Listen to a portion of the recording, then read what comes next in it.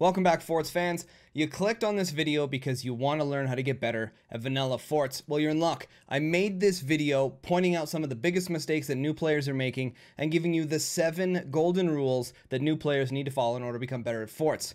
This is part of a larger guide on Steam that a large group of us have decided to make to help new players learn and understand the game. There's a link down below in the description to the guide over on Steam. You guys can follow along there and check it out and learn more about the game. Here at Synergy Gaming TV, we do all sorts of gaming content and tutorials. If you're new here, consider subscribing, hit the notification bell, and stay tuned for the next tutorial video. You're watching Synergy Gaming TV. I'm your host, Synergy, and we'll see you guys in the video.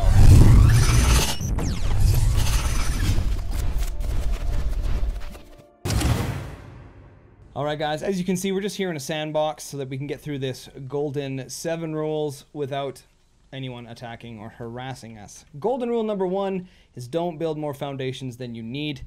How many times have you done this or seen people do this in a lobby? As soon as it starts, that little sound effect comes in, it zooms in on their base, and they grab the foundation and they go straight across the bottom like this. Okay? Do not do this. Okay? You don't need to hide your mines.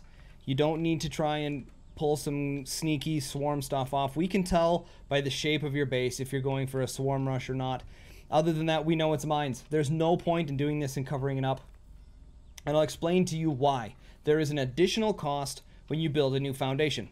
And I'll show you, okay? So if we grab this strut here and we bring it to the ground, you'll see that there's two different costs. Okay, on the right, you pay 11 metal and 57 energy. That's for the cost of the strut. But then you're also paying a cost of a new foundation or a node. So anytime that you connect to the ground or a sidewall or the ceiling, depending on your map, you're paying this additional cost of 50 metal and 400 energy. Okay. So at the beginning of this map, when we started, we had this node here. We built one, two, three, right off the bat. That's 150 metal and 1200 energy that you just wasted for absolutely no reason.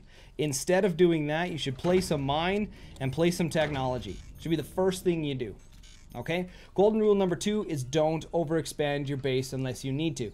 Essentially, the only reason that you expand your base is because you need more room for more components. Okay, so how many times have you seen seen players do this or done this yourself? When you jump in, you build this foundation, you still don't have technology or mine. Okay, and you jump in and you just finish this off. And wait, they'll actually do it out of back bracing, and they'll just do this.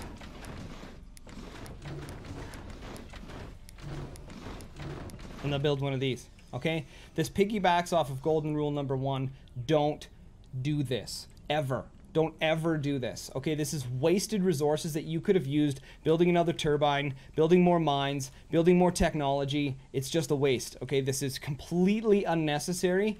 Don't ever do it. Golden rule number three when it is time for you to expand your base, don't use large boxes.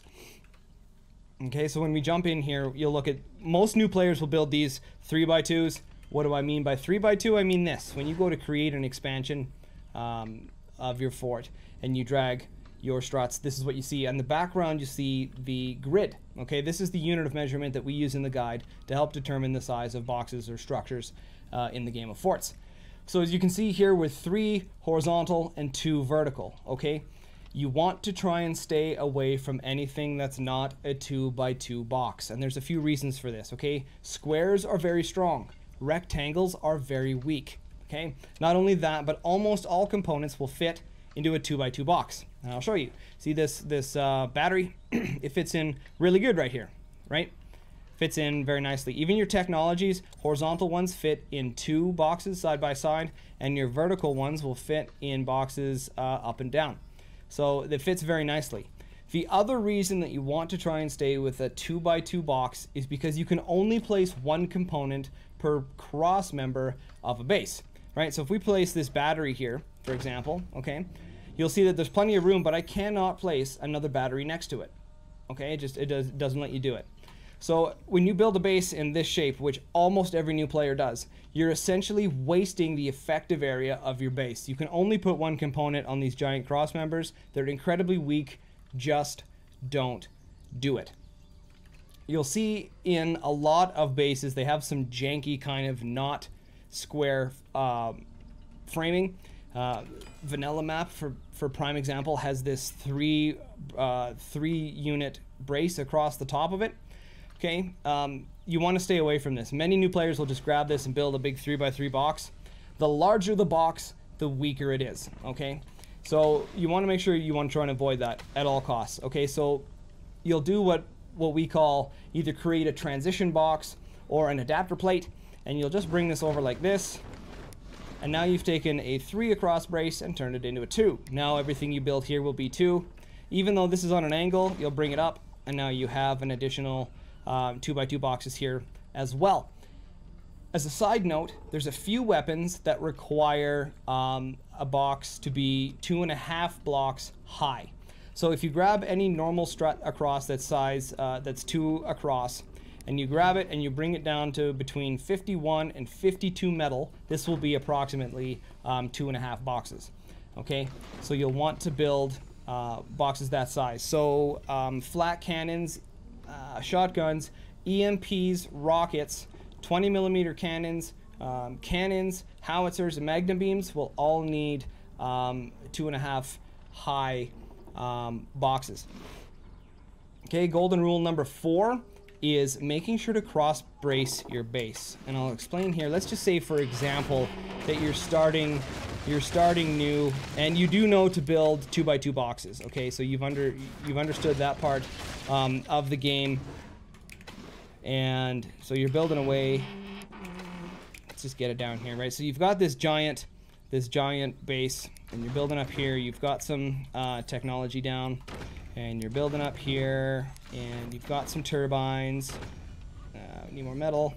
You've got some turbines. Let's turn this into back bracing so you get wind. Um, so you've got your turbines, you got your technology down, and you build this this giant base. Let's make sure they even know about the the sizing for the for the weapons. Okay, and we'll build this little jank here. Okay, so they have this giant base. But you see how it's wobbling. You see how it's tipping and like waving? What I mean by cross bracing is this. Okay, making an X. Boxes with crosses in them are one of the strongest um, structural shapes in engineering. So building a cross member in your base, or cross bracing your whole base, uh, adds two things. One, it increases the amount of weight that you can place on top of the base before these bottom struts um, collapse, and it also makes your base much more rigid.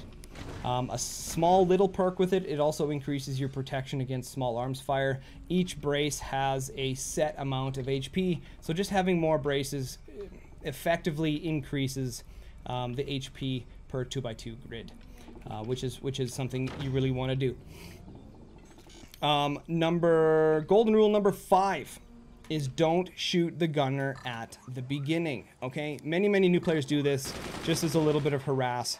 As a new player, I highly recommend not doing this. Even even pro players have there's a very very limited um, limited game plan of why you would do this. But the main reason that new players you don't want to do this is because it takes up your APM. APM is actions per minute, and it's talked about more in the terms and definition section of the guide. Link down below in the description. Head on over there. Okay, so instead of firing your gunner like this, okay, you should be using those actions per minute to build more mines, build more technologies, build more turbines, instead of firing okay? You're better off at the beginning of the map to just grab it, sell it, use the resources you get back from it to build more mines, technologies, weapons, or turbines, okay?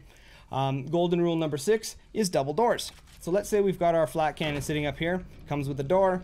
A lot of players and a lot of new players will just leave that, okay? Midway through the game, when you get what's called an upgrade center, uh, we'll have just one more second here, an upgrade center, that little building there, you can upgrade a regular sniper into an armor piercing sniper, and that sniper can shoot through a single metal door and hit whatever's on the other side. Cannon shells as well will go straight through a singular metal door and blow up whatever's on the other side as well. So you want to make sure to double door your weapons. This is really important. You'll even see um, higher level or higher tier players, they'll even triple door, quadruple door, even quintuple door sometimes in, in situations to make sure that the weapon on the other side can't be attacked.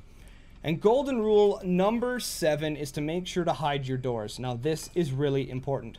What do I mean by hiding your doors? Making sure that there's some back bracing uh, in behind the doors so that opponents can't see whether or not they're opening. So let's say, for example, we've got the triple door there, which is good. All right. The opponent cannot see these doors opening or closing. Okay. And let's just say, for example, you've happened to have the door on the outside. The opponent can see this door. So all you need to do is add a little bit of background bracing here. And now we can't see the door. The reason that this is important is because opponents, good opponents, will sit here on the other side with a sniper and they'll wait for your doors to open just like that and they'll shoot right through and blow up whatever you have on the other side. It happens all the time. We call it door sniping. It's also talked about more in the terms and definitions section of the guide. Make sure to check it out. Okay. Keep in mind, very good players will wait and and listen for the sound of the door to open like this that sound. They'll wait to hear that and then they'll fire. Later on in the guide, we have some tips and tricks about uh, gameplay you can do with doors to help try and confuse your opponent. Um, and we'll be going over those in some later videos as well. That does it for this video, you guys. The seven golden rules. Remember that there is a link to the guide in the description. Head on over there. It'll go in a lot more depth than the things we talked about here. Also, remember to subscribe and hit the notification bell so you get notified when the next video is coming up. And if you have any questions or comments regarding this stuff, make sure to post it in the video and I'll get back to you as soon as I can. If I personally don't know the answer, I will find somebody who does and get back to you right away. Once again, you guys, thank you so much for watching Synergy Gaming TV. I'm your host, Synergy, and we'll catch you guys on the flip side.